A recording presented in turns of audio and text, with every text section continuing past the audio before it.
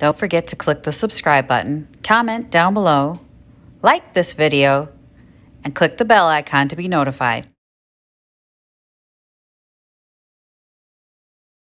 Good morning, guys. I'm actually several hours into my day already.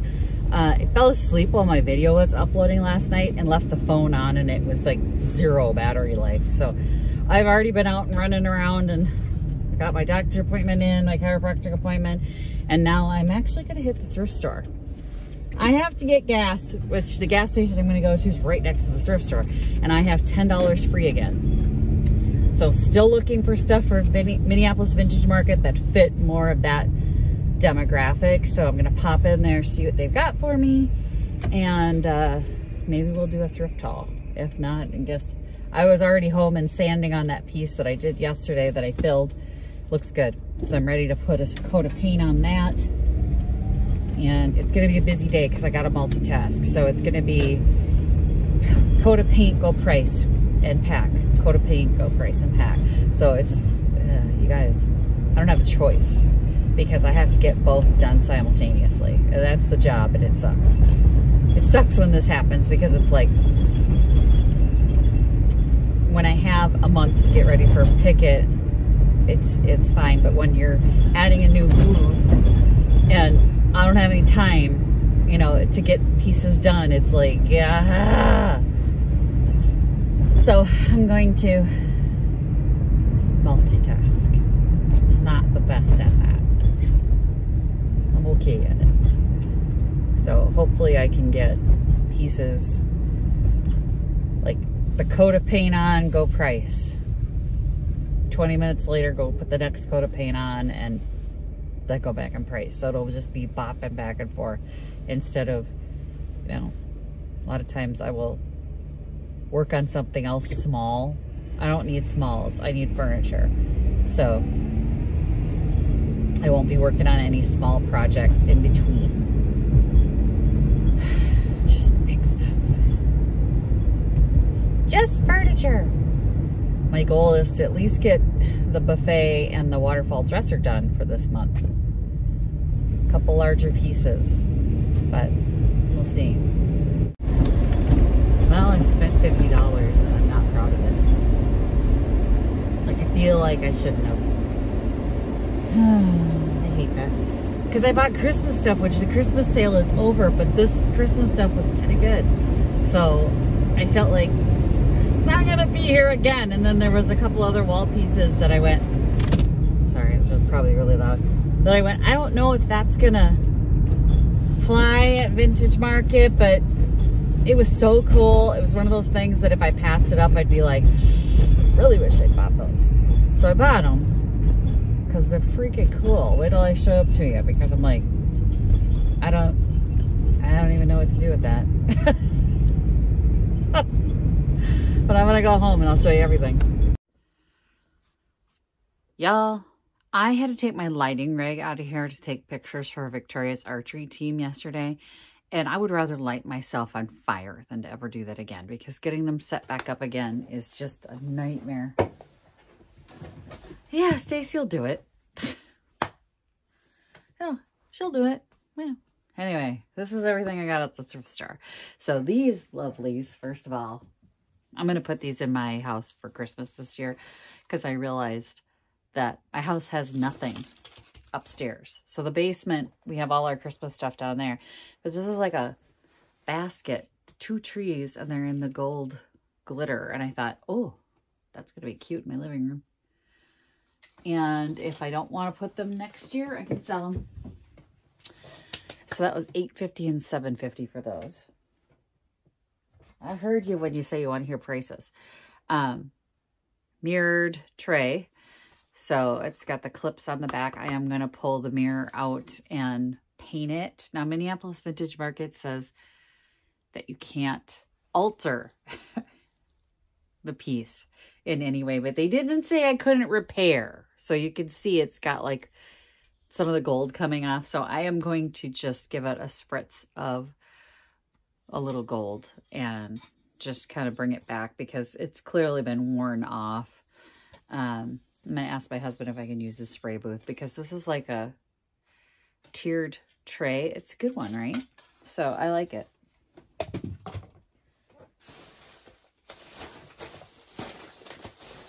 Speaking of Minneapolis Vintage Market, this is for display. Um, so it's kind of like Christmassy. But what I thought I'd do is take this little number off. This is just glued on there. And I'll use this to hang the vintage pearls and stuff that I have. Just a little display piece. I've got some other display pieces as well, but I thought this would add a little color to my display just to have it there. I thought it was cute.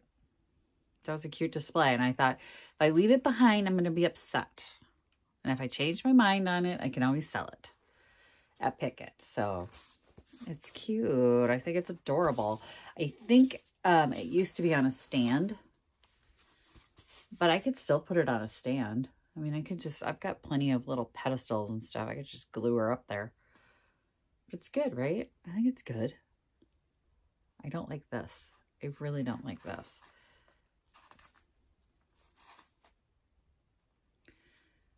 And I think that's just hot glue. So I think if I took that off, like a vintage strand of pearls, I could pin some pins to it. I've got some vintage pins and stuff.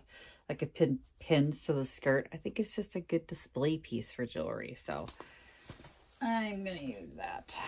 I'll set it over here.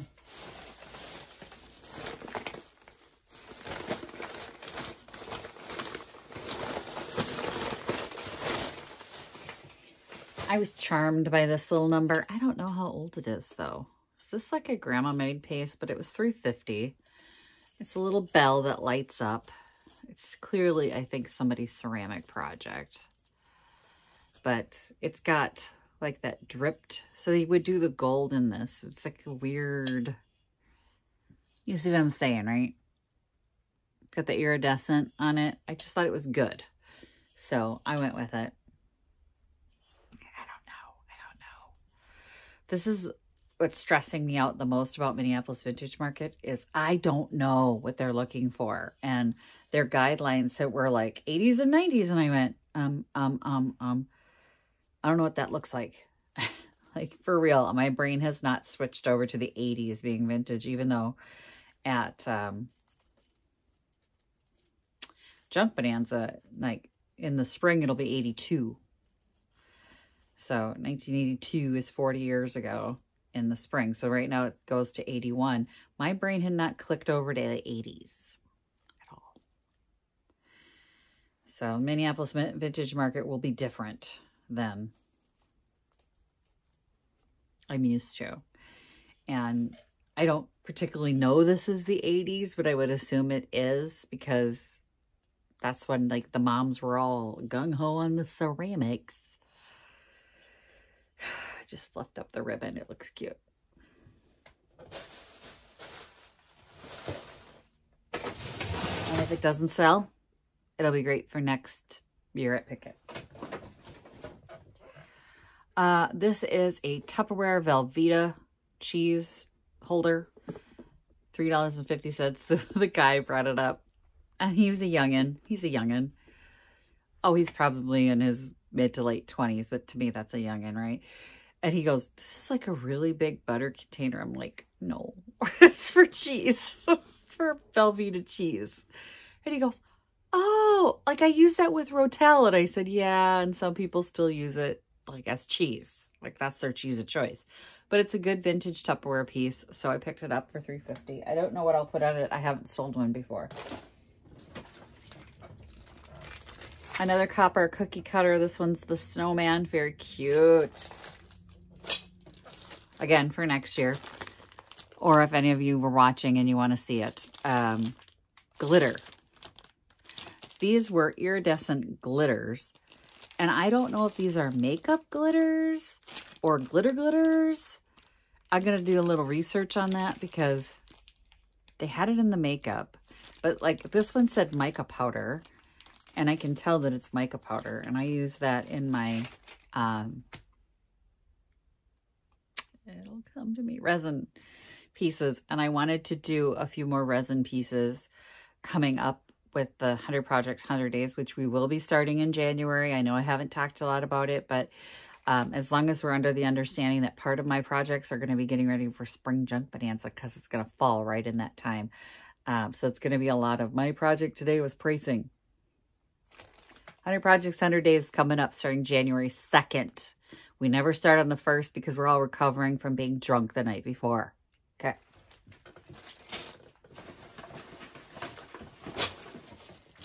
But these were cute little glass birds, just little birds. And you can't go wrong with some glass birds. I don't even know what this is for, but they're like hollow on the bottom. Somebody out there who knows will tell me. I don't really know what they're for. They got a hole in their back too. I guess I didn't notice that. I suspect these. Now I suspect these have a purpose, but I just was going to use them to put in little nests that I have. More glitter. So this was, it says teamimage.usa. I think that might be makeup glitter, but there's like a different kind of, I don't know. So these were like copper glitters. And these were fuchsias. So pretty. And one of them said mica powder for sure. So I don't know. These may be cosmetic, but I think mica powder is mica powder. Yeah, this is Magenta Glow Mica Powder.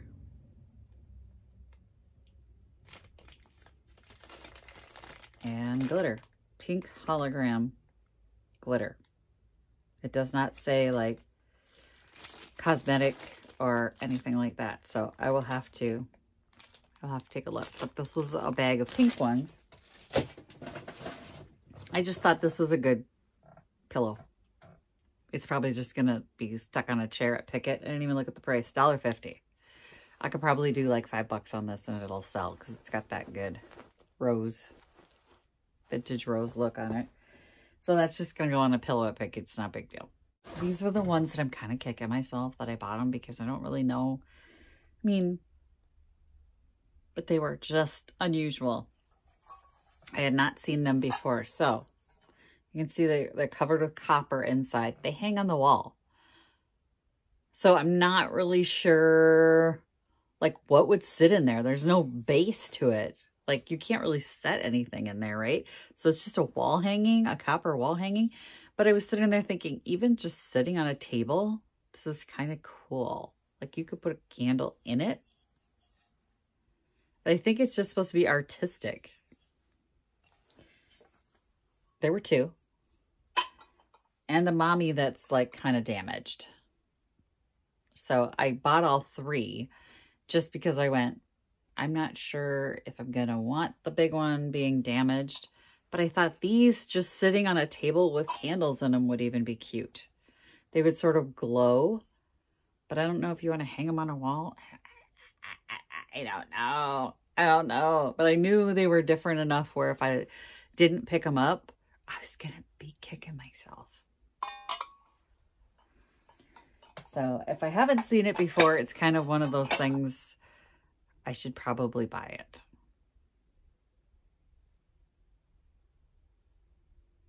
Anyway.